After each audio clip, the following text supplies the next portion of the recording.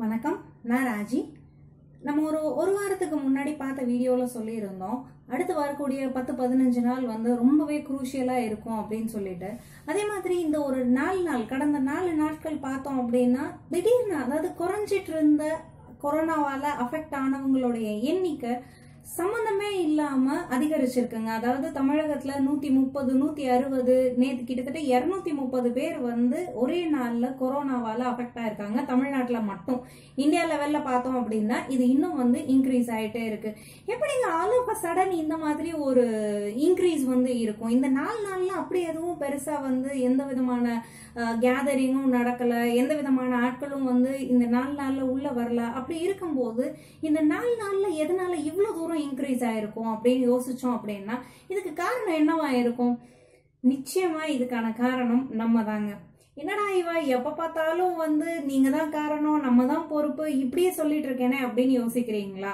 நம்ம நாட்டுல இந்தியாலயா இருக்கட்டும் இல்ல தமிழ்நாட்டிலயா இருக்கட்டும் கொரோனாவால பாதிக்கப்பட்டவங்களுடைய எண்ணிக்கை அதிகமானாலும் குறைந்தாலும் ரெக்கவர் ஆகி போனாலும் இல்ல இந்த கொரோனாவில இருந்து முழுசா மீண்டு வெளியில வந்தோம் அப்படின்னாலும் இப்படி எந்த ஒரு விஷயம் நடந்தாலும் நிச்சயமா அதுக்கு நம்ம ஒவ்வொருத்தரும் தாங்க பொறுப்பாக முடியும். சோ அந்த மாதிரி இப்போ இந்த நோய் தொற்று அதிகமானதுக்கு நம்ம தாங்க பொறுப்பு.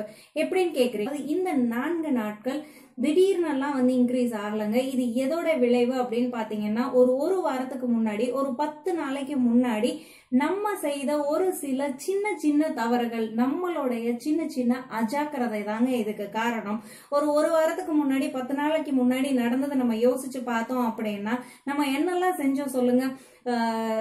சோஷியல் டிஸ்டன்சிங் இல்லாம நம்ம போய் காய்கறி கடையில நின்னோம். காய்கறி வாங்குறதும் வந்து பாத்தீங்க அப்படின்னா ஒரு ஒருத்தரா பார்த்து பார்த்து பார்த்து காய்கறி வாங்கியிருப்பாங்க. காய்கறி கடைக்காரர் மட்டுமே அந்த காய்கறியை வந்து எடுத்து கொடுத்துருக்க மாட்டாரு. அதே மாதிரி ரேஷன் கடையா இருக்கட்டும் இல்ல நிவாரண பொருட்கள் வாங்க போற இடமா இருக்கட்டும் அங்கேயும் போய் அந்த சோசியல் டிஸ்டன்சிங் இல்லாம எல்லாமே ஒட்டுமொத்தமா போயிடணும். இன்னும் ஒரு படி மேல சொல்லணும் அப்படின்னா சோசியல் டிஸ்டன்சிங் மெயின்டைன் பண்ணணுன்றதுக்காக அவங்க போட்ட கட்டங்கள்ல நம்ம பைகளை வச்சுட்டு மொத்தமா வந்து ஒரு இடத்துல நின்றுருக்கோம். அதுக்கப்புறம் வந்து பாத்தீங்க அப்படின்னா மாஸ்க் யூஸ் பண்றது ஒரு சிலர் யூஸ் பண்ணல ஒரு சிலர் வந்து நான் அது யூஸ் பண்ணாலும் ஓகே என் ஒரு ஆளால பரவ போறது கிடையாது அப்படின்னு நினைச்சோம். அதே மாதிரி வந்து பாத்தீங்க அப்படின்னா வெளியூர்ல இருந்து வேற ஊர்களுக்கு ஒரு ஊர்ல இருந்து இன்னொரு ஊருக்கு வந்தவங்க அவங்க வந்ததுக்கான பதிவை வந்து அவங்க பக்கத்துல இருக்க ஆரம்ப சுகாதார நிலையத்துல வந்து போய் பதிவிடப்படாதது. இந்த மாதிரி நிறைய சின்ன சின்ன விஷயங்கள். நான் ஒரு ஆள் மாஸ்க் போடாம போனதுனாலதான் இவ்வளவு பிரச்சனையா?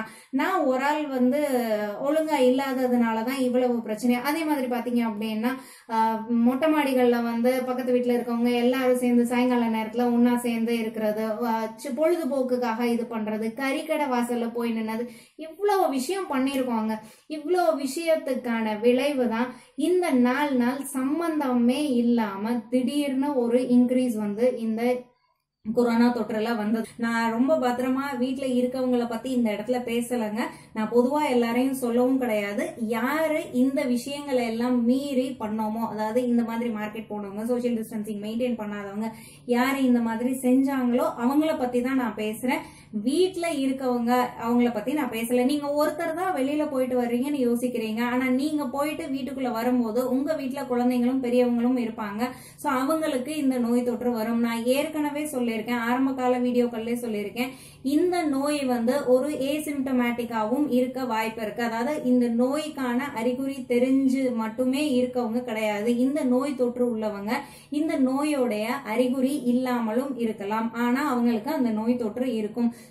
அல்மோஸ்ட் ஹாஸ்பிட்டல்ஸ் எல்லாம் ஃபில் ஆயிடுச்சுங்க. ஹாஸ்பிட்டல்ஸ்ல ஆல்ரெடி அட்மிட் ஆயிருக்க பேஷண்ட்ஸுக்கு எந்த விதமான இதையும் நம்மளால வந்து முழுமையா ப்ரொவைட் பண்ண முடியல. அதே மாதிரி டாக்டர்ஸுக்கும் வந்து பாத்தீங்க அப்படின்னா பற்றாக்குறை.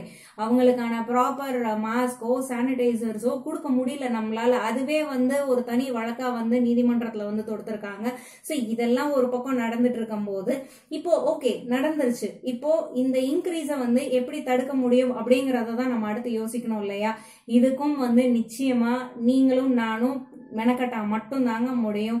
நான் மறுபடியும் சொல்கிறேன் நம்ம எல்லாரும் பத்திரமா வீட்டில் இருந்தால் மட்டும்தான் இந்த நோய் தொற்று கண்டிப்பாக குறைய வாய்ப்பு இருக்குது அது வரைக்கும் இந்த நோய் தொற்று குறையிறதுக்கான வாய்ப்பு கொஞ்சம் கூட கிடையாதுங்க. ஏன்னா இந்த நோய்க்கு இன்ன வரைக்கும் மருந்து கண்டுபிடிக்கல.